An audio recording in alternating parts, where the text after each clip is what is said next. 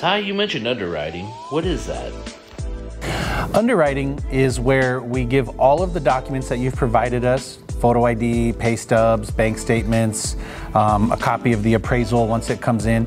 We give all of that documentation to another member of our team who's actually been certified and trained to review and determine if your loan is financeable based on the documentation provided. So that is, like, like you said, underwriting.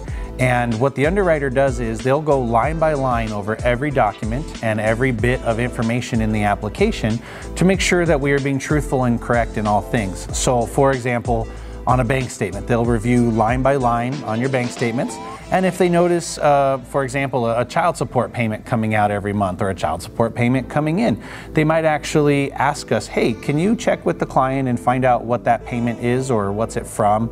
Or um, they'll review your photo ID, make sure that it's a valid photo ID, make sure it's not expired, things like that. So they are basically the final sign off of all of the documentation that we've provided that we've gathered from you in the initial process to make sure that everything is correct.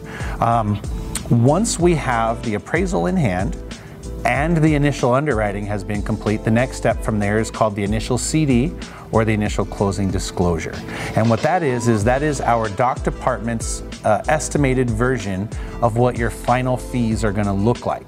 They take the fee estimate that comes from the title and escrow company and they attempt to balance with it kind of a, ahead of time just to get a good idea of what that looks like.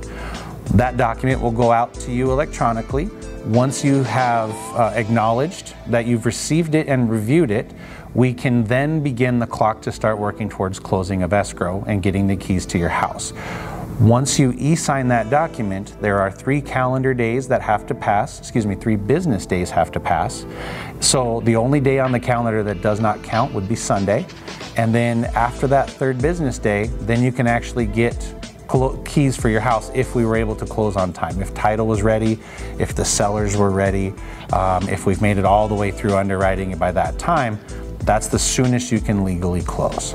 Um, what that means is that as far as closing, you would go to the title company, you would sign all the documents, you would wire your final funds to the title company, your final uh, down payment, and then everything gets released and reviewed and sent up to the government and they sign off on it and you're a homeowner a few hours later.